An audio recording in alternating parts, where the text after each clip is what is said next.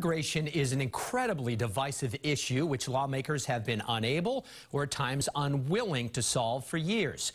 Many political leaders today condemned what Governor DeSantis did, but some believe he made the right move. WBZ's Tiffany Chan continues our team coverage tonight. She's live from the State House. Tiffany?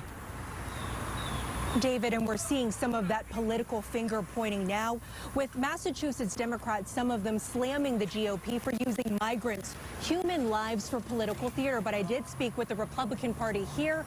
They're saying that this is a clear example as to why President Biden needs to secure the border. The party chairman, Jim Lyons, telling us that taxpayers should be the most concerned here because they will be the ones footing the bill to house and to find resources for these migrants that ended up on Martha's Vineyard from red states like Florida. Florida and Texas. But Democrats are fighting back. One congressman from Massachusetts saying that he's not happy with Florida Governor Ron DeSantis sending these migrants to an island that's already pressed for resources and housing. Take a listen. You have one Republican governor in uh, Florida, uh, you know, just cravenly seeking the limelight at any cost, competing against other uh, governors, not even with an original idea, by the way, with one of his competitors.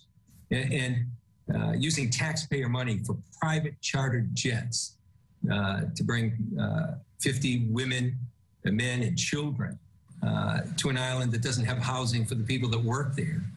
Uh, for a political stunt. I, I think it's uh, the Massachusetts taxpayers should really be outraged at the unwillingness of President Biden to do his job. He has a job to do, which is to secure the borders. And what we're seeing is the outcome of his lack of leadership on securing the borders. It's a real simple solution. Secure the borders, and these problems will go away. And both Republicans and Democrats here in Massachusetts are looking at Governor Baker for his next steps. He's suggesting possibly housing these migrants at a Cape Cod military base. Outside of the State House in Boston, I'm Tiffany Chan, WBZ News.